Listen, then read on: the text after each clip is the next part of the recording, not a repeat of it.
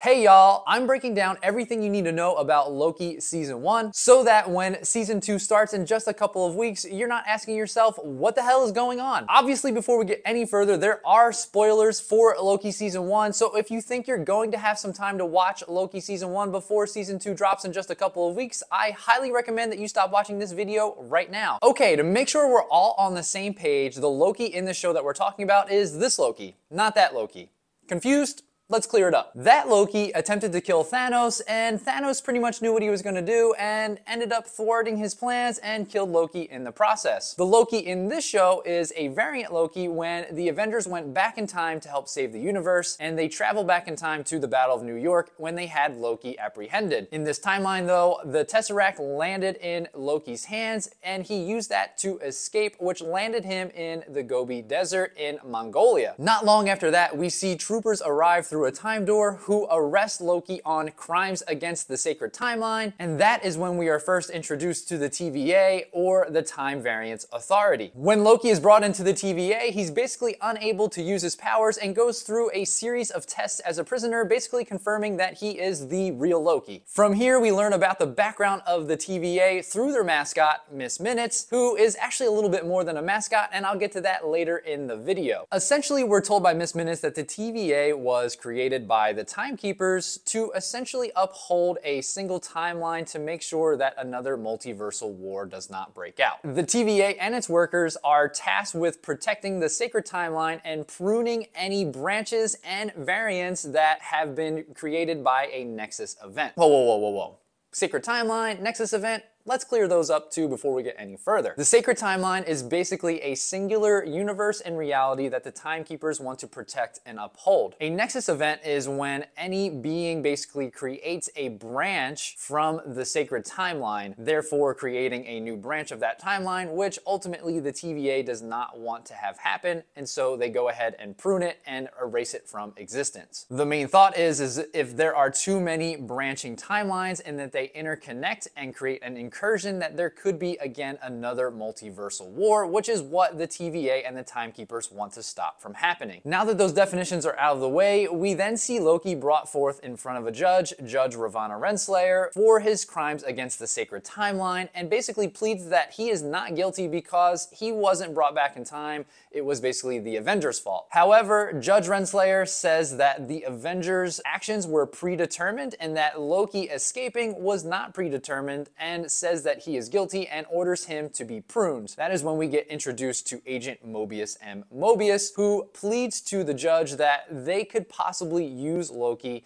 in a case where a variant is killing TVA agents. Loki is then brought to the Time Theater by Agent Mobius, and Loki questions how all of his actions could be predetermined if he has free will. To refute this fact, Mobius shows Loki future events in his life, including inadvertent events that led to his mother's death. Loki then attempts to escape, and during his escape, comes across multiple Infinity Stones that have no power, and it is at that point that Loki realizes that the TVA must must be the most powerful entity in the entire universe. As Loki heads back to the Time Theater, he sees more events in his future, including his repaired relationship with his brother, as well as his death at the hands of Thanos. After realizing that he is no longer able to get back to his timeline, he confesses to Mobius that his wrongdoings were just out of an effort to control his life. It is at that point Mobius tells Loki that the variant that is killing TVA agents is actually another Loki variant and Mobius asks Loki to join them in helping to find this Loki variant. That brings us to episode 2, where Loki joins a TVA squad that goes back in time to an attack by the killer Loki variant. They find that TVA trooper Hunter C20 was actually kidnapped by the killer Loki variant, which is important to know in future episodes, and we'll obviously get to that later in the video. After returning to the TVA, Loki and Mobius do more research as to where this killer Loki variant might be hiding hiding out in the timeline. Loki determines that the killer variant is hiding in near apocalyptic events undetected by the TVA because essentially no branches would exist because nothing would survive after that apocalyptic event. Loki and Mobius then determine that the killer variant is hiding in 2050 in a deadly hurricane located in Alabama. Loki, Mobius, and a TVA team of troopers, including Hunter B-15, all go to this determined time. During their search, Loki and Hunter B-15 are ambushed by the Loki variant who uses enchantment to possess bodies of locals as well as Hunter B-15. Loki tries to convince the variant to join him in overthrowing the Timekeepers. However, the killer variant denies this request and then reveals themselves as a female variant of Loki who goes by the name of Sylvie. She then sets off several stolen time charges across the sacred timeline to throw the TVA off. This takes us right into episode 3 where Loki and Sylvie are teleported back to the TVA and eventually confronted by Judge Renslayer. In an effort to escape, Loki uses a TemPad, which is a really fancy flip phone, to teleport himself and Sylvie away. They teleport to Lamentis 1, which is an inhabited moon which is going to crash into a planet relatively soon. It would of course be super simple for them to just teleport away, however the TemPad they have has run out of power. While on this moon they essentially spend their entire time looking for power to recharge the TemPad. Unfortunately it breaks in their quest in doing so and then they realize that there is essentially no way off of this moon. This is when Sylvie tells Loki that all of the TVA employees are variants. Sylvie was able to determine this because when she took Hunter C20 as a hostage, she used enchantment to tap into her memories to figure out where the timekeepers are hiding. And in doing so, she found other memories of a previous life that Hunter C20 had. Loki realizes that none of the TVA employees know this because they've all been told that they were created by the timekeepers. This brings us right into episode 4, which at the beginning we get some background into the beginning of Sylvie's life. We learn that a young Sylvie was arrested by then Hunter Ravonna Renslayer for, again,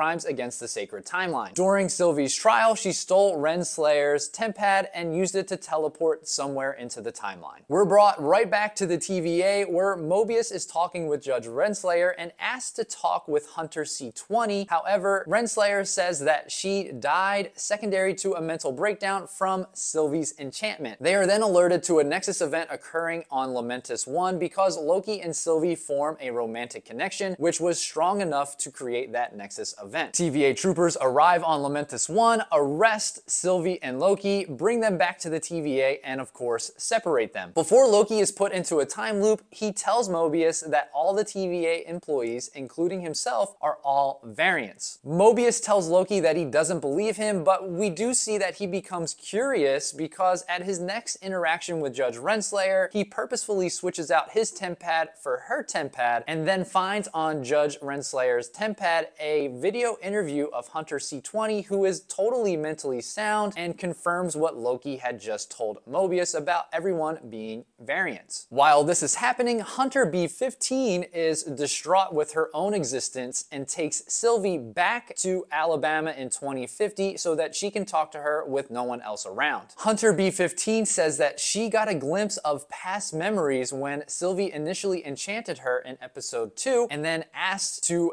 be enchanted again to see if those memories are real. It is then at that point that Hunter B15 realizes that she had a past life and is also a variant. Mobius then frees Loki from the time loop and is approached by Judge Renslayer and other TVA troopers. Mobius confirms his betrayal to Judge Renslayer and also acknowledges the fact that he is a variant. Mobius then gets pruned, essentially seemingly to be killed right in front of Loki. Loki and a recaptured Sylvie are then brought in front of the Timekeepers by Judge Renslayer. With the help of Hunter B-15, Loki and Sylvie are able to escape and Sylvie then chops the head off of one of the Timekeepers, revealing that they are mindless androids. At that point, Loki tries to tell Sylvie of his feelings for her, but at that point, Judge Renslayer goes ahead and prunes Loki. A very angry and upset Sylvie apprehends Judge Renslayer and demands to know the origins of the TVA. This is the only episode with a mid-credit scene, which is where we see Loki waking up from being pruned. He believes he's in hell, but then is approached by four variants of himself who convince him to follow them to safety. We go right back to Sylvie and Judge Renslayer, where Judge Renslayer tells Sylvie that she does not know the actual origins of the TVA and that Loki actually went to the Void. The Void is a dimension at the end of time where everything that is pruned goes there and basically doesn't return. At this point, we see Miss Minutes return, who is searching for files on how Sylvie can get back to Loki. However, she's really just stalling until TVA troopers come to apprehend Sylvie. This is where we actually get some more insight to Miss Minutes, who is a little bit more than a mascot because also later in this episode, she continues to give wrong information to Judge Renslayer because she also doesn't want her to know all of the background to the TVA and to ultimately find out that she is also a variant. Once those TVA troopers come and get Sylvie in an effort to not get captured, she prunes herself, sending her to the void. As soon as she gets there, she's basically chased by Alioth, which is a massive cloud-like creature that hunts and kills everything in the void. While on the run from Alioth, she is saved by Mobius. While this is all happening, Loki and his four variants, Classic Loki, Boastful Loki, Kid Loki, and Alligator Loki all go back to their hideout for safety. While in this hideout, they are ambushed by another Loki variant, President Loki, and basically they all betray each other and start a huge fight. Classic Loki helps Loki, Kid Loki, and Alligator Loki escape the fight and move on. During their quest, they end up connecting with Mobius and Sylvie. With a tempad that Sylvie stole, Mobius returns to the TVA to inform all of its employees that they're all variants. While that's happening, Loki and Sylvie determine that the only way to get to the creator of the TVA is to go through Alioth. Their plan is to enchant Alioth and they start to do this however they struggle.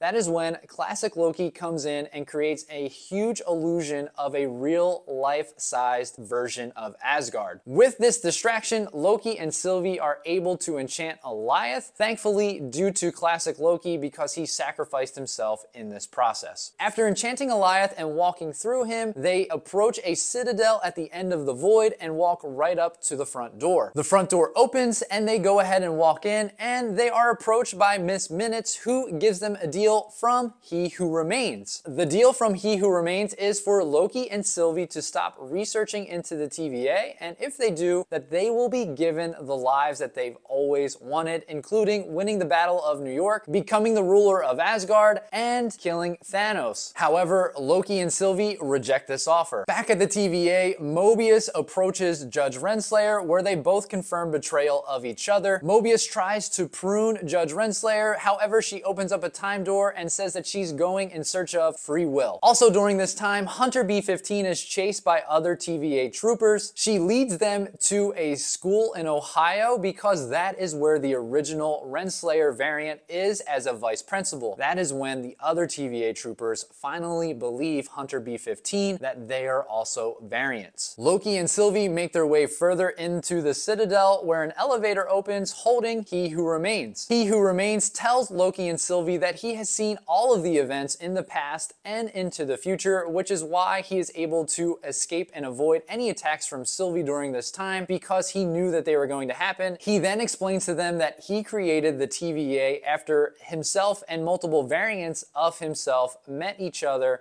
in the 31st century. He explains that most of the interactions between the variants and himself were friendly, however, some of them were not so friendly with them trying to conquer each other's universes, which led to the multiversal war. He Who Remains was able to create the sacred timeline after harnessing the powers of Alioth, using it to conquer all of the other variants of himself, and then created the TVA to stop any other branches from happening. He then tells Loki and Sylvie that they basically only have two options one of which is to take over the TVA and rule it and be the keepers of time, or kill him and risk another multiversal war with multiple variants of himself who are way worse than he is. As He Who Remains is explaining to Loki and Sylvie why they would be great to take over the TVA and the timeline, his demeanor quickly changes from happy to grim, stating that they just crossed the threshold, stating that he has no knowledge of what occurs beyond the threshold. At this point, Sylvie still doesn't believe He Who Remains while Loki does. Sylvie insists on killing He Who Remains, but Loki tries to stop her, which causes them to fight with each other, and Sylvie then just accuses Loki of wanting to take over the timeline and the TVA by himself. At one point during their fight, Loki just tells Sylvie that he just wants to see her be happy, and then they kiss, where Loki kisses himself. Who knows? Who cares? Loki's in love. Sylvie then opens a time door with Loki's tempad, pushes him in it, and sends him back to the TVA TVA. Sylvie then kills He Who Remains, and while he's dying, he looks at her and says, See you soon. It is at that moment that we see the sacred timeline splinter into countless branches. We're brought right back into the TVA where we see Loki run into the TVA library and he comes across Mobius and Hunter B15 telling them of the impending doom of He Who Remains. However, Mobius and Hunter B15 do not recognize who Loki is. We then see Loki look out into the TVA environment, noticing that the three statues of the Timekeepers are gone, with just one remaining, and it now looks like a variant of He Who Remains. We know that season two actually starts out in this exact spot where Loki is looking out at this statue. And if you want to actually know what happens in the opening scene of the first episode of season two, you'll want to check out this video. I appreciate you watching, and you should be all caught up on season one. Until I see you in the next video, Excelsior!